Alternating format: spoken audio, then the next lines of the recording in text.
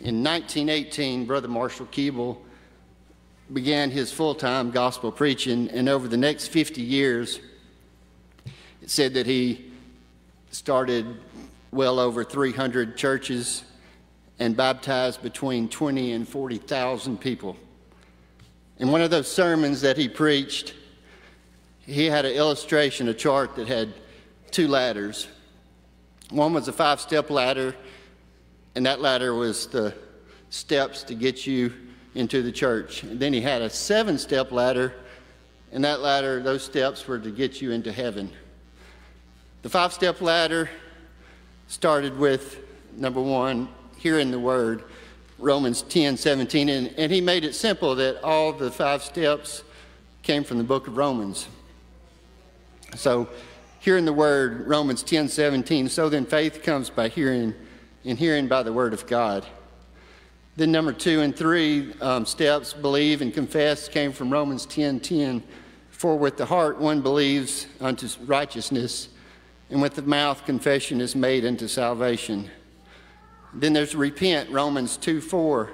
Or do you despise the riches of the goodness, forbearance, and long suffering, not knowing that the goodness of God leads you to repentance? Then there's the fifth step of baptism, found in Romans 6, verses 3 and 4. Or do, or do you not know that as many of us were baptized into Christ Jesus, were baptized into his death?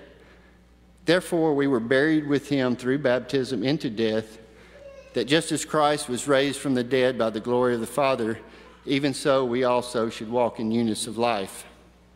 And then there was that second ladder, that illustration with the other seven steps and that came from 2 Peter chapter 1 verses 5 through 8.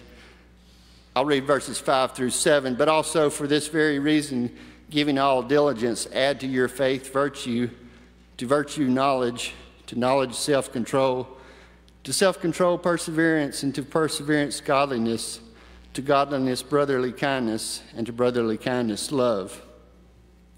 But he would go on to say that some of his friends were trying to climb ladder two before they climbed ladder one.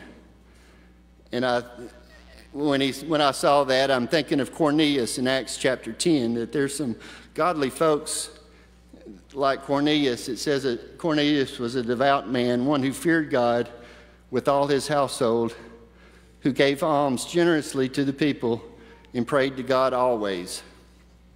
So we can't choose which ladder we climb. We need to climb ladder number one, those, those five steps, we've got to get those five steps in to be, um, become a member of Christ Church.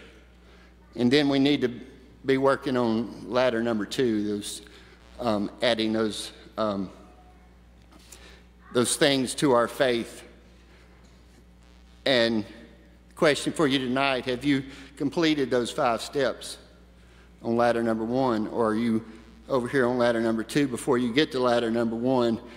And if we go back to 2 Peter 1, verse 8, it says, For if these things are yours and abound, you will neither you'll be neither barren nor unfruitful in the knowledge of our Lord Jesus Christ. And you notice it says if.